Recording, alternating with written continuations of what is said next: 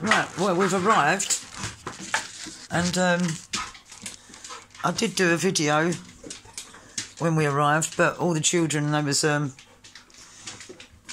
well, the boys were just in their pants.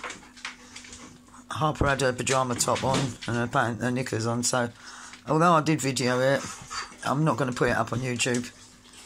Um, and this is Evie, and it seems that her and Cobie are now the best of friends.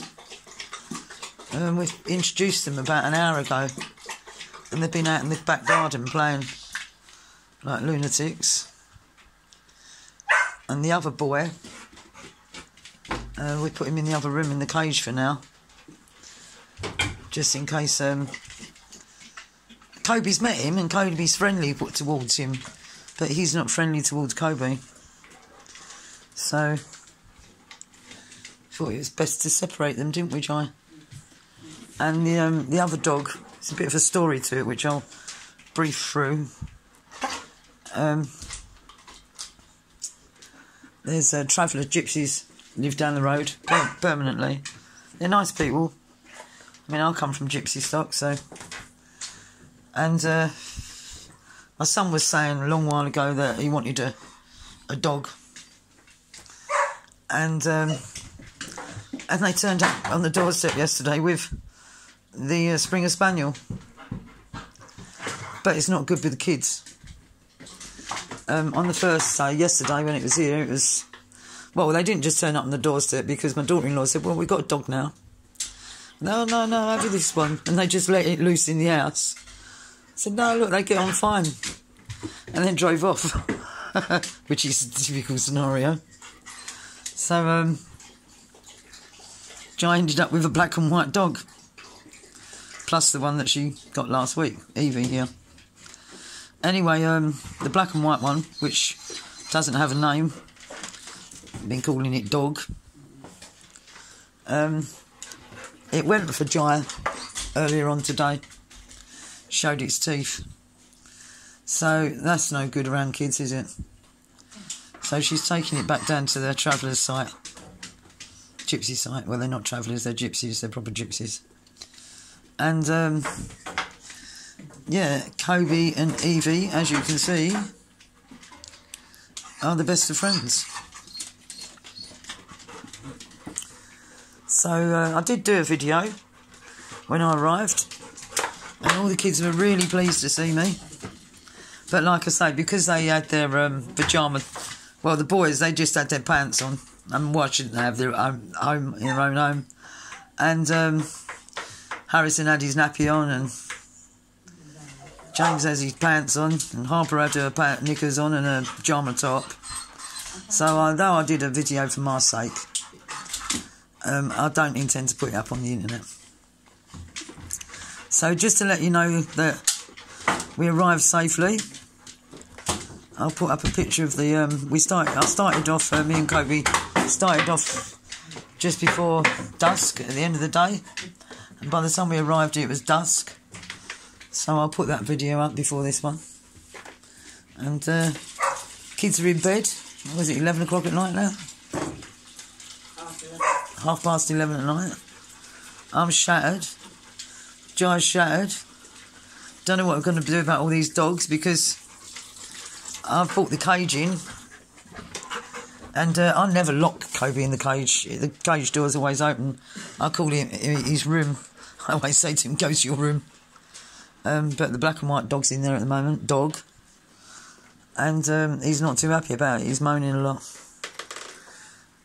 so he's complaining. So I don't know what to do about him because one minute he's friendly, and then he's not friendly. But he's only young.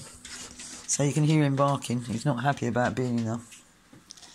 Not happy at all. It's a shame. He's a lovely little dog. But um, I think Jai got it right. I think what's happened is she said that the lady down the lane, um, nice lady, um, the lady down the lane, I don't think you can see him. I don't want to say light on again. He's a lovely dog. Um, lady down the lane has got a brown and white cocker spaniel, and um, she wants to mate. So we reckon what's happened is she's got this dog, and then she's got children herself, and then she's realised it ain't friendly with children. It's not friendly with children, and um, and it's temperamental. And she's brought it up here and numbered it on Giant. But you can't have a dog like that with little kids. And you can't train it. Jai can't train it. You know, she can't look after three kids and train two dogs. And I can't take it because it's a dog. Apart from that, I'm locked down here for the next six weeks. So I can't take it away. So either take it... Can you hear him? Either take it back to the site tomorrow or um, keep it for the, well, keep it. And it's not realistic to keep it. Not, not with little children. Not if it, not if it's showing its teeth and going for you. That's can't do it, can you? And it's not happy about being in that cage. So um, yeah, that's it. Bye from me, me, and John, me. Oh, door's gone. And me. I've got to cut my fringe. Me. I know I look like a nun, do I've got my mask, look. Nurse Norris. Oh, look, it's all torn now.